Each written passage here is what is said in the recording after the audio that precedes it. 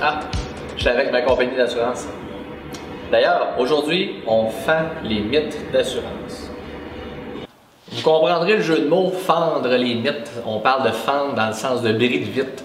Euh, oui, là on parle d'assurance, c'est-à-dire, euh, oui, il y a un coût à ça pour le pare-brise de s'assurer, mais j'en viens à ça. Les pare-brises sont vraiment plus chers qu'avant.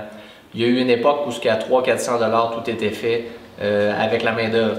On n'est plus là aujourd'hui. Le pare-brise a tellement d'options, sont plus dispendieux, beaucoup de modèles, puis euh, des recalibrations de caméras. Imaginez-vous à quel point les pare-brises, on n'est plus dans le même monde. Euh, beaucoup, beaucoup de, réclamations de pare-brises sont aisément au-dessus de 1000 Donc, est-ce que ça vaut la peine de s'assurer? Oui.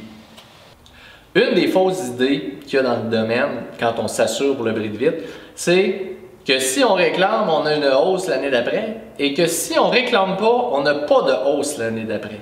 Mais c'est vraiment plus compliqué que ça. C'est multifactoriel. À vrai dire, nos réclamations personnelles, c'est un facteur parmi euh, plus d'une dizaine de facteurs.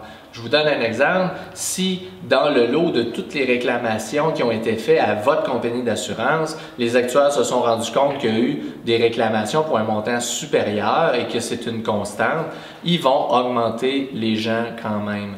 Et du côté du pare-brise, vous allez subir une augmentation juste à cause de la moyenne des réclamations des gens en général.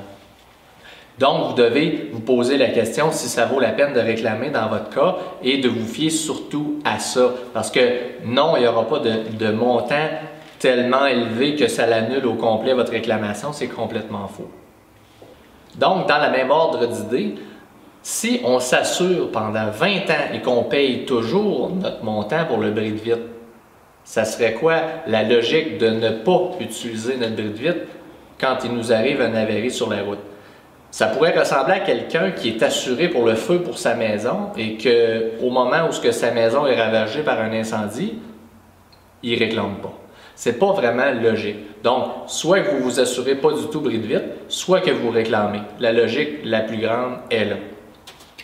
Un des points importants qui peut faire en sorte que les gens déchantent ou sont à l'aise avec euh, la réclamation, c'est le montant de la franchise. Ça arrive souvent d'ailleurs que le montant de franchise n'est pas idéal.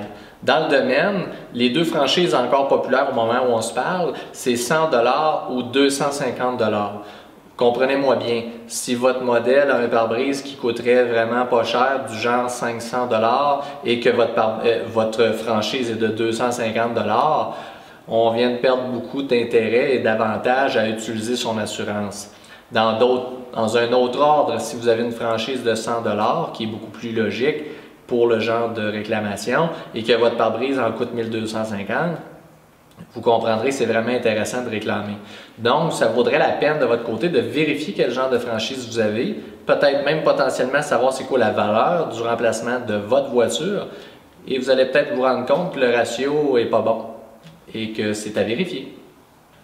Donc, vous comprenez, je n'essaie pas nécessairement de vous dire assurez-vous et réclamez, réclamez, réclamez. Parce que justement, en étant votre expert, une des options qu'on a qui est vraiment intéressante, c'est de vous inscrire à la réparation gratuite à vie. Et le but de tout ça, c'est de toujours essayer de réparer avant de remplacer. Parce que le but n'est pas de briser absolument. Disons que c'est les cas ultimes. Gênez-vous pas, contactez-nous et ça va nous faire plaisir de vous inscrire.